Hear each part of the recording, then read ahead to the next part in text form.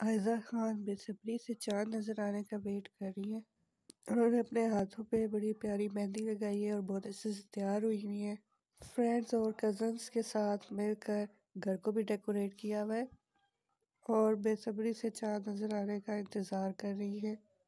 उन्होंने अपनी Instagram story पे अपनी प्यारी तस्वीरें शेयर की है और साथ ही अपने फैंस से पूछा है कि अचानक की चाँद रात के लिए कौन कौन तैयार है।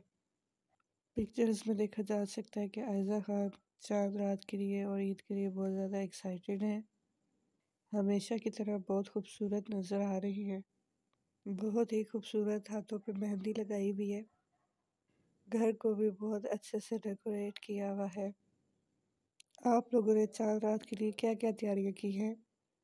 कमेंट सेक्शन में ज़रूर बताइएगा। वीडियो को लाइक शेयर कर दें और चैनल को सब्सक्राइब कर दें। Thank you so much